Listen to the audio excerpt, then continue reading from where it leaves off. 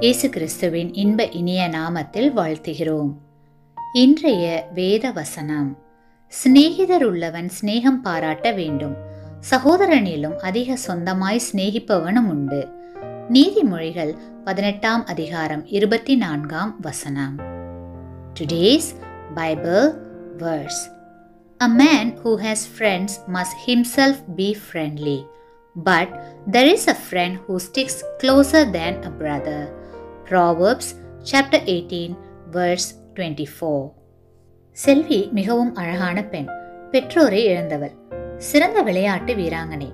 கல்லூரியில் படித்த நாட்களில் கல்லூரி வாலிபால் குழுவில் தலைவியாக திகழ்ந்தவள்.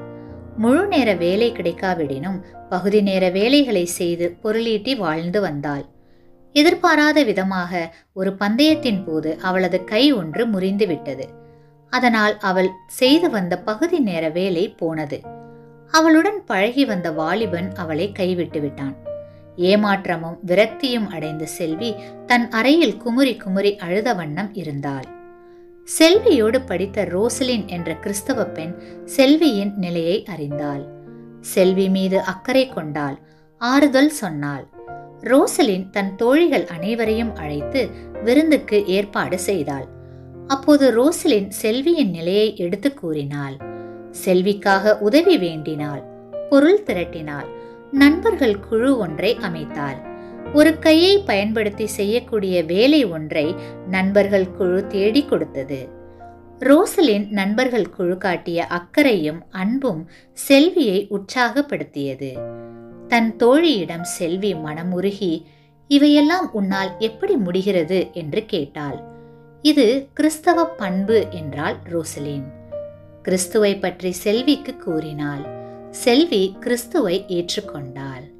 வேதாகமத்தில் திமிர்வாதக்காரன் ஒருவனை அவனது நண்பர்கள் இயேசுவிடம் கூட்டி வந்தார்கள். கூட்டமாய் இருந்தபடியால் இயேசு இருந்த வீட்டிற்குள் செல்ல முடியவில்லை. நண்பர்கள் உடனே வீட்டின் கூரையை பிரித்தார்கள். அந்த வழியாக திமிர்வாதக்காரனை இறக்கி இயேசுவிடம் கொண்டு வந்தார்கள்.